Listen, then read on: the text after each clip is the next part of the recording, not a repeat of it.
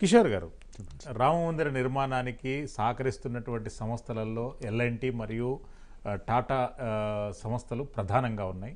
వాటితో పాటు వాటికి అనుబంధంగా IIT Delhi IIT Mumbai IIT Ahmedabad IIT Guwahati పలు సంస్థలు పలు రంగాలలో వాళ్ళకు సహకారం అందిస్తున్నటువంటి అంశాలు మనం గ్రహిస్తున్నాం.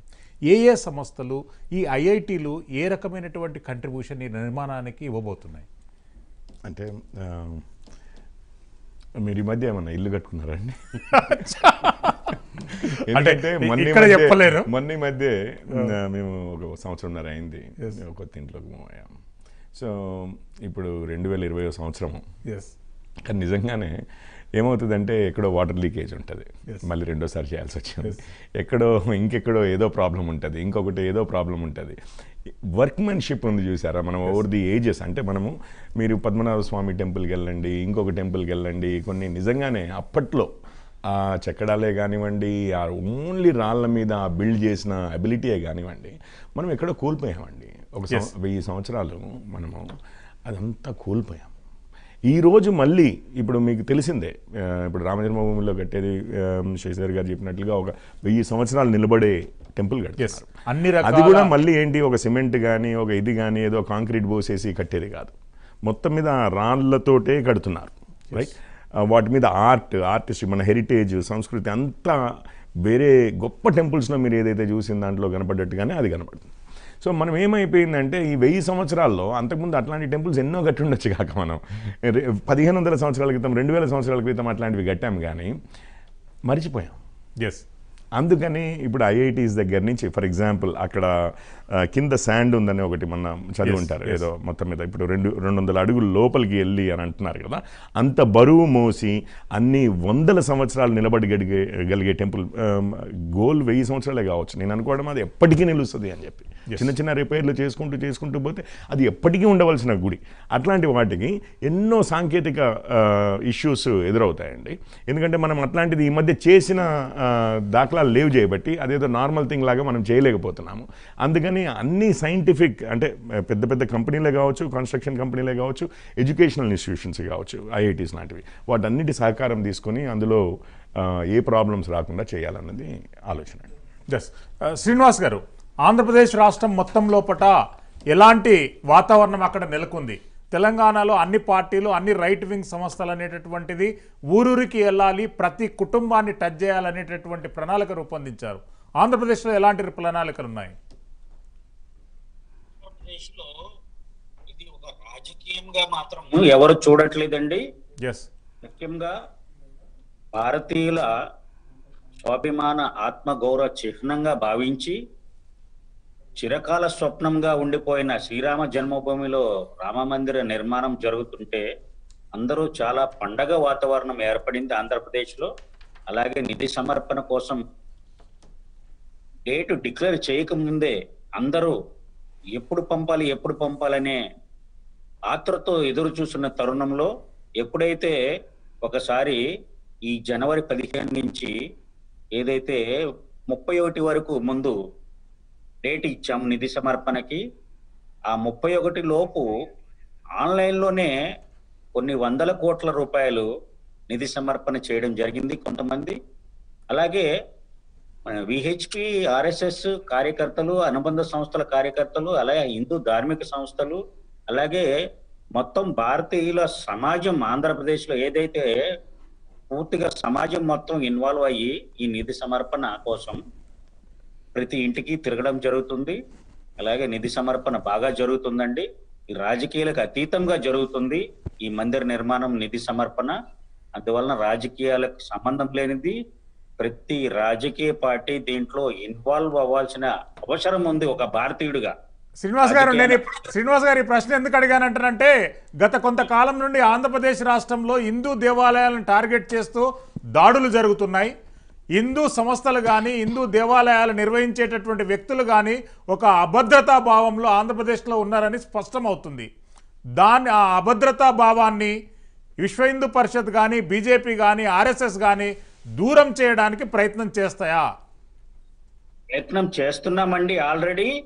వాటి గురించి నిరంతరం పోరాటం చేస్తూనే ఈ నిధి సమర్పణ ఉద్యమంలో పాల్గొనడం జరుగుతుంది.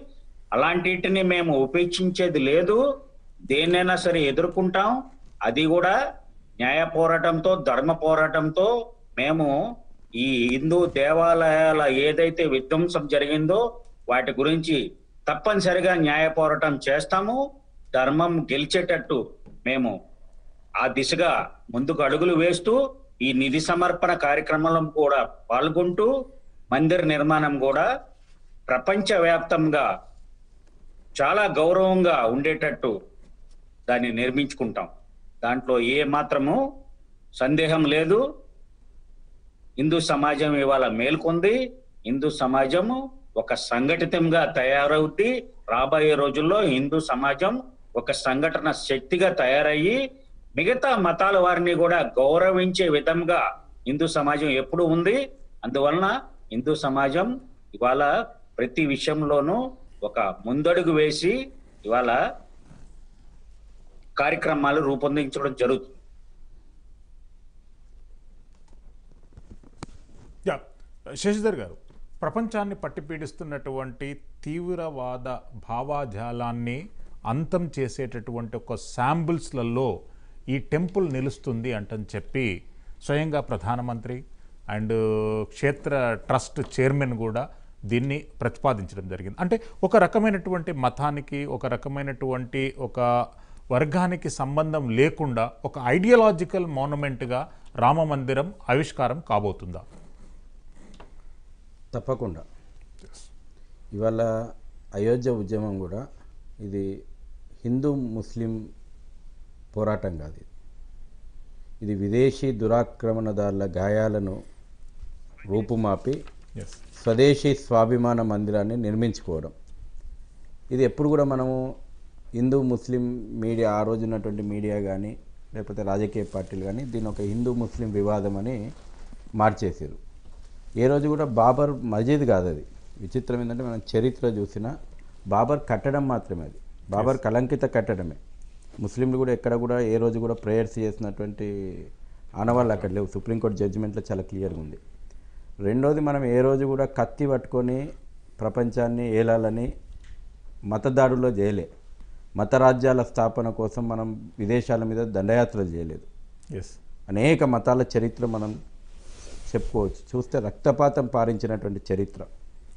కానీ ఈ సనాతనమైనటువంటి ధర్మంలో రాముడు రాజ్యాన్ని పరిపాలించిండు అనేక మంది రాజ్యాలు పరిపాలించారు ఏ రోజు కూడా కత్తితోటో లేకపోతే ఆధునిక ఫా ఇప్పటి కాలంలో ఒకటి ఏకే ఫార్టీ సెవెన్ తోటో మేము మత రాజ్యాలను స్థాపిస్తాము.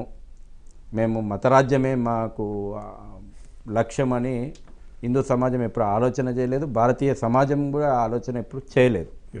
మనం ప్రేమతోటి ప్రపంచాన్ని జయించినాం. ఇలా రాముడు ఎందుకు ప్రపంచం మొత్తం కూడా ఎందుకు ఆదర్శమైండు? విశ్వ మానవాళికి ఎందుకు ఆదర్శమైండు రాముడు? ప్రేమతోటి జయించిండు ప్రజల హృదయాలను. ధర్మానికి ప్రతిరూపంగా ఎందుకు రాముడు ప్రతీక అయింది వాళ్ళ కాబట్టి ధర్మాన్ని ధర్మానికి ప్రతీక ఏదంటే ఒక రూపం ఏదంటే రామునితో మనం కొలుస్తాం. కాబట్టి మానవీయ విలువలు రాముడు ప్రతీక. ఒక రాజు ప్రజలను ఎట్లా పాలించాలా? రాముడు ఒక ప్రతీక. సబ్కా సాత్ సబ్కా విశ్వాస్ సబ్కా వికాస్. వికాస్. ఇవాళ నరేంద్ర మోడీ గారు అంటున్నారంటే అది రాముని నుంచి తీసుకున్నటువంటి ఒక ప్రేరణ. ఒక తండ్రి కొడుకుల మధ్యన సంబంధాలు ఎట్లుండాలా? రాముడు ఆదర్శం. తెల్లారితే పట్టాభిషేకం. తండ్రి మాట కోసం పద్నాలుగేళ్ళు వనవాసానికి పోయిండు. భార్యాభర్తల మధ్యన అను అవినాభావ సంబంధం ఎట్లుండాలంటే ఇవాళ రాముడు ఆదర్శం. ఆ రాముడిని ఆదర్శం తీసుకోమని అంటున్నాం ఇవాళ. సమాజంలో ఉన్నటువంటి అనేక అనర్థాలు తొలగిపోతాయి. కాబట్టి ఇవాళ ప్రతి కుటుంబం రాముని కళ్యాణం జరగని గ్రామం ఉండదు. దేశంలో ఏ మారుమూలకు పోయినా. కాబట్టి ఒక భగవంతుని భక్తునికి ఏ రకమైనటువంటి సంబంధం ఉండాలా? రాముడు ఆదర్శం. కాబట్టి రామాయణం విలువలు నేర్పుతుంది. రామాయణం మనిషి మనిషికి ఎట్లా బతకాలను నేర్పుతుంది. కాబట్టి వల్ల ప్రపంచం లోపట తీవ్రవాద భావజాలం ఎందుకు వస్తుంది? ఎందుకు మత తీవ్రవాదం ఇస్లామిక్ మతోన్మాద తీవ్రవాదం ఎందుకు ఈ ప్రపంచాన్ని వెళ్తుంది సమధ సర్వ సర్వధర్మ సమభావన. ఇది భారతీయులు ప్రపంచానికి నేర్పింది. అందుకే మీరు చూడండి ప్రపంచం లోపల అన్ని మతాలు ఇవాళ భారతదేశంలో. ఉంటాయి స్వేచ్ఛగా ఉంటాయి. కాబట్టి రా రాముడి సర్వధర్మ సమభావన లేకపోతే రాముడు ఇచ్చినటువంటి ప్రేమ మిగతా దేశాలు మానవాళి ఆదర్శంగా తీసుకుంటే తీవ్రవాదం అనే దానికి ఆస్కారమే లేదు. ఎందుకు తీవ్రవాదం కావాలి వాళ్ళ వాళ్ళ తిండి లేక తీవ్రవాదం కావాలనా? మతరాజ్య హింస కోసం తీవ్రవాదం దేశవ్యాప్తంగా ఆరు లక్షలకు పైగా గ్రామాలు ఉన్నాయి. ఇరవై ఐదు కోట్ల కుటుంబాలు ఉన్నాయి అంటే భారతీయ జనతా పార్టీ కానివ్వండి విశ్వ హిందూ పరిషత్ కానివ్వండి ట్రస్ట్ పిలుపు మేరకు ప్రతి కుటుంబానికి వెళ్ళాలనేటటువంటి ఒక ప్రణాళిక రూపొందించుకున్నారు. అంటే ఈ ఊపు ఈ ప్రచారము ఈ స్పీడ్ చూస్తుంటే పదిహేను వందల కోట్లు కాదు పదిహేను వేల కోట్లు కలెక్ట్ అయ్యేటటువంటి అవకాశం ఉంది. మిగులు బడ్జెట్ని ఏం చేస్తారు? సో ఫస్ట్ థింగ్ అండి ఇరవై ఐదు కోట్ల ఫ్యామిలీస్ అంటే మనము ఊహించగలం కదా నూట ముప్పై కోట్లు అని అంటే నూట ఇరవై ఐదు కోట్లు అనుకోండి. ఐదుగురు కుటుంబానికి ఐదుగురం అనుకుంటే ఇరవై ఐదు కోట్ల కోట్ల కుటుంబాలు అనుకోండి. సరే అందులో అట్లీస్ట్ పదకొండు కోట్ల కుటుంబాలని రీచ్ అవ్వాలి అని చెప్పి టార్గెట్ చేశారు. సో ఇందులో ఇందులో మీరు అన్నట్టుగా బీజేపీ ఇప్పుడు తీర్థక్షేత్రం ఉందండి ట్రస్ట్ ఉంది. వారు పిలుపునిచ్చారు. నేను- తెలియదు రైట్ వింగ్ ఇప్పుడు ఇందులో there is no wrong wing అండి. There is only right wing ఏంటంటే you can do the right thing ఎవరైనా పార్టిసిపేట్ చేయొచ్చు అంటున్నాను. మరి మరి కాంగ్రెస్ నుంచి ఎన్ని వేల మందో లక్షల మంది పార్టిసిపేట్ చేస్తున్నారో నాకు నిజంగానే తెలియదు. బీజేపీ నుంచి ఎంతమంది పార్టిసిపేట్ చేస్తున్నారో కూడా తెలియదు. ఎవరు వచ్చినా కానీ అక్కడికి వచ్చినాక మీకు అక్కడ బీజేపీ రంగు కాంగ్రెస్ రంగు టీఆర్ఎస్ రంగు వైఎస్ఆర్సీపీ రంగు కమ్యూనిస్ట్ రంగు ఇట్లాంటివి ఏమి ఉండవండి. అందరూ మీరు సేవ చేయాలనుకుంటున్నారు మీరు వచ్చారు. మనం తిరుపతికి వెళ్ళినప్పుడు చూస్తామా ఇవన్నీ. రాముడి దగ్గరికి వెళ్ళినప్పుడు మాత్రం ఎందుకు చూస్తాం సో అది నెంబర్ వన్ పాయింట్ అండి. దాని తర్వాత రెండోది మీరు ఏమన్నారు అంటే డబ్బు పదిహేను వందల కోట్లు అంటున్నారు. సో మనము మనకి ముందే తెలిసిన విషయమే. ఎస్టిమేట్స్ ఆల్వేస్ క్లుప్తంగా క్లోజ్ ఎస్టిమేట్స్ ఆల్వేస్ క్లోజ్ ఉంటాయి. అది కాస్త ఎక్కువ కూడా పోవచ్చు. అంతకంటే ఎక్కువ రైజ్ అవ్వచ్చు గాక. ఎస్ అంతకంటే రైజ్ ఎక్కువ అవ్వచ్చు గాక కానీ అది ఉద్దేశం మాత్రం కాదు. ఎవరిది కూడా అది ఉద్దేశం కాదు. రాముడు వన్ వర్డ్ వన్ వర్డ్లోనే చెప్తా. Yes. మేము బతికున్నగా రామాలయ నిర్మాణం ఎట్లయితుందో చూస్తామని ఛాలెంజ్ చేసిన వాళ్ళు కూడా వాళ్ళ రామ మందిర నిర్మాణం కోసం.